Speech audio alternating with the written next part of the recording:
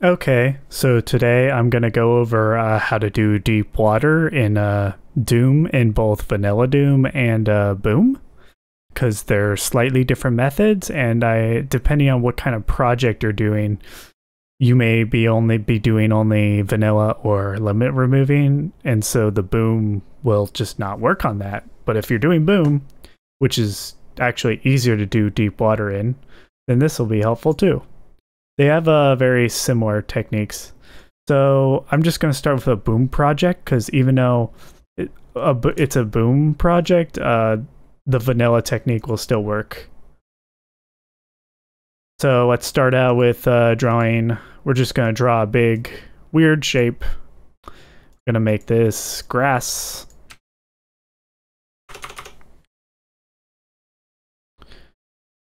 Make this sky. And there we go. We have a beautiful thing. Now we're going to create a body of water.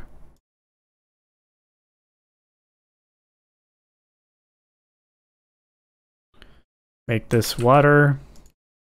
Let's set this to negative 24.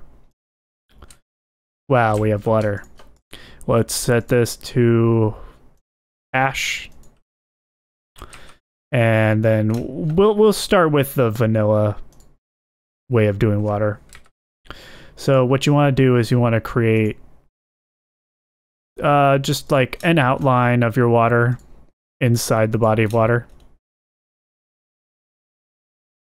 And what we're going to do for this is we're going to raise this a little bit. I guess you could lower it a bit. Let's try... You just want to make sure Doom Guy can get out. So I'm going to set this to comp blue because there is no waterfall texture in stock textures. And let's just, uh, let's just run this.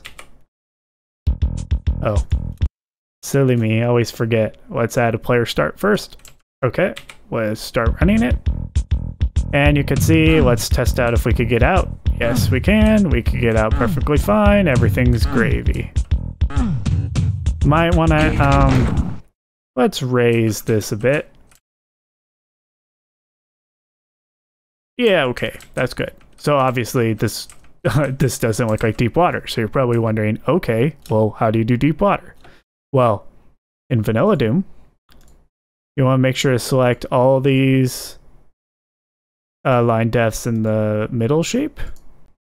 And we're going to right click. And basically the easiest way to do it in vanilla is you want to set the, this inner sector is sector 2 this one right here is sector 1 and then the initial one sector 0 and you want to set the front side of these line defs to the exact same as the back side. So we want it to be equal to whatever's inside 2 and we want this to be on the back side as well.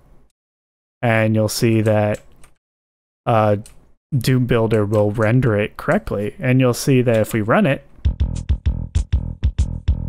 we have deep water. I will say this vanilla way of rendering it is it's a bit janky in that sometimes you can't get up some sides. I notice this doesn't happen on the boom. It's very strange. I'm not exactly sure how to fix that except for making it like less tall, I guess. Uh, the dis- the advantage of this is it will work in Vanilla Doom. So if I go over here, running in Chocolate Doom, you'll see that it renders correctly, and uh, you got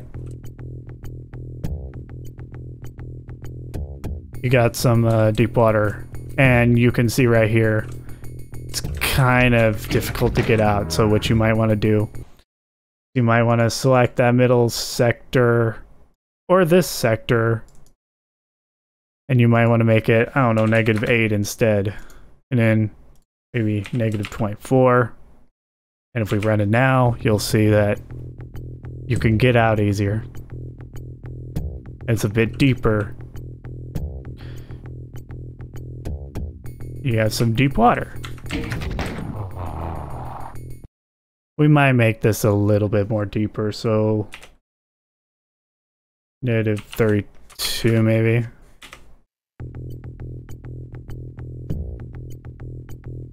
Yeah, that's a bit nicer. But yeah, you can see the jank of the vanilla engine. But this looks like it's actually working well. You just gotta get the heights right.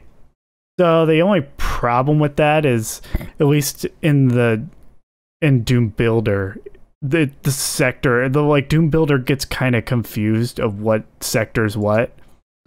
And like if you ever like move a bunch of sectors, you might have to re uh redo the line defs to basically basically these line defs are like self referencing the same sector on the back too. It's basically a flat. It's the bleeding of a, the the water flat on the sides. So what we'll do now is we'll do it the boom way. So let's uh, undo the weird shenanigans we did with the sectors so it's back to how it was. And this is how you do it in boom. So first of all, for it to work in boom, you want to take the middle one, you want to make sure to give it a tag number. You want to select one of these line defs. You want to make sure that it's assigned to that of whatever, like in this case, we're using this outdoor or these outside, like taller water that we want the this the floor to be. And basically create fake ceiling or floor. We're creating a fake floor.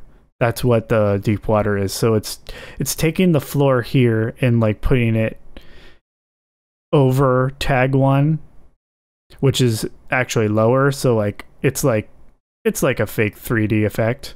And a very important thing that I kind of just learned is you want to make sure that the line def is pointed towards the fake floor height you want to create. So since since we want the fake floor to be on negative 8, we want the line def to be pointed towards the outside and not the inside. So if I run this in a, well, let's just run Chocolate Doom because it won't work. And you'll see because it's a boom feature. But if you run this through uh, PrBoom, you'll see that we have fake water. Or deep water, I mean. Now you'll see it's a bit weird because you do have a little step. There's really no way to stop that. And uh, you kind of want that for deep water just from the fact that like the deeper the water is, the harder it is to get out. So it's kind of like a step to get out, I guess. So that is one way. There is another way, but I don't know how useful it would be because you're kind of limited to uh, how high you can make the fake floor. But what it requires is it requires a dummy sector. So the way I like to create dummy sectors is I just create a small sector in the sector that I want to duplicate, take it out, just because it has like the, it has the, uh, as the ceiling and the floor that I want. And for this, let's make sure we remove the tag. Uh, we want, th so this, this dummy sector is exact, like it is whatever you want the fake floor to be. So negative 8. Now the difference is here, we're going to remove this effect. We're going to keep this as tag 1 actually. We're going to extend this outside sector so it's literally just going to be two sectors, the water and the grass. So obviously we're limited to how far we could do. I think it's like 24 Doom Guy can get out. So for example, let's just run this. And you'll see it's not deep water, but you can still get out.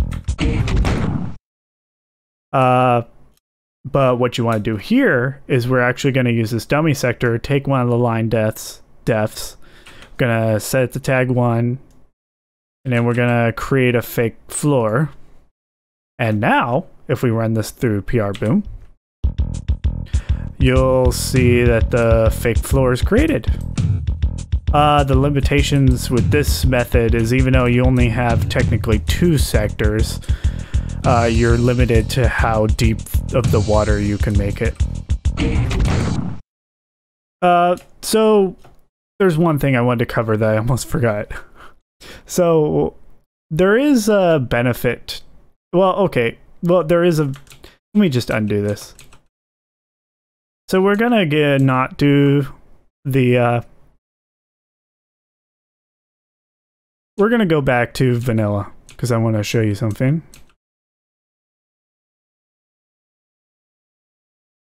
Okay, we're back.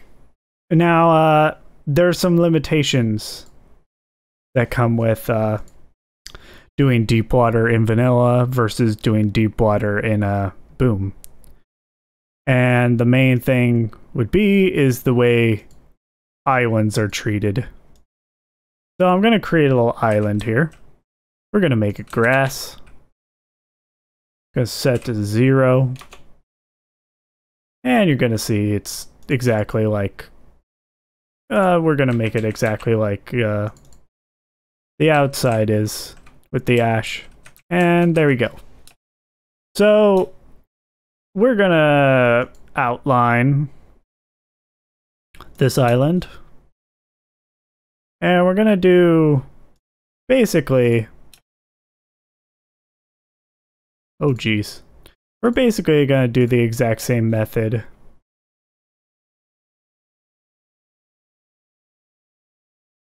That we did with uh, the outside, and that we're going to bring this up to, what is this set to? So this is, let's set this to negative 8. Let's set this to negative 8. Uh, guess I have to do the comp blue again.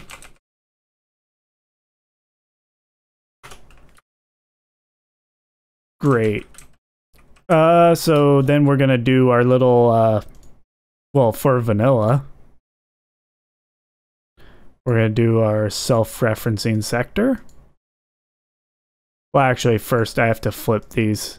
When you do self-referencing sectors, or it just makes, yeah, it makes life easier. You want to make sure it's very important where your uh, line defs are pointed towards. Uh, so two, let's set this two now. And you could see in Doom Builder, it does in fact show. It looks like I backed up enough that I got rid of my player start, so let's see. Okay, so this is PrBoom. And you'll see PrBoom is kind of intelligent in that it can kind of uh, render it correctly. However, if I run this through Chocolate Doom, you will see that vanilla does not like islands. You could see that how it's treating the weird water at the bottom, and you could see how the island is taller than it should be. That is because uh, vanilla uses like a flat bleed technique, and it like doesn't know how to treat that middle island. However, this can be very useful when uh, implementing it on Boom. So if you remember, actually, when we back up, make sure our sectors are normal again. Okay, sectors normal. Add player start. We're going to do the same technique. Make sure this is facing towards the height you want to copy. We're going to do two. We're going to do uh, create fake ceiling floor. And this should work. Well, not in not in Chocolate Doom, because Chocolate Doom is not boom.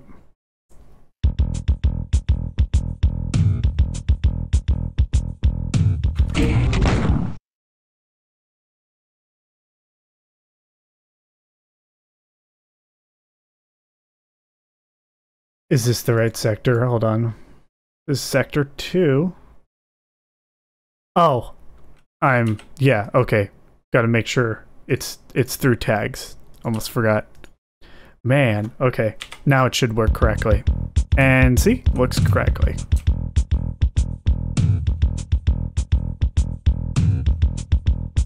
And so yes, so basically Boom can do islands, Vanilla can't.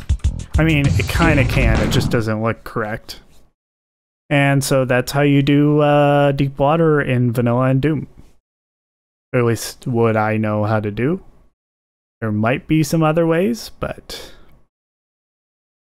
that's what I know. Uh, this has been Arsinikk. Uh, thank you for watching, and uh, stay tuned for more videos.